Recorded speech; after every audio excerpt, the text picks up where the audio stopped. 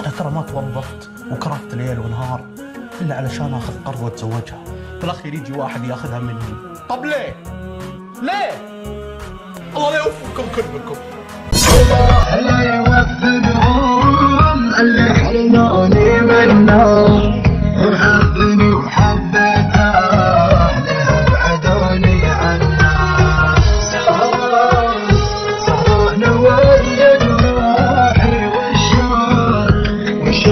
Bye.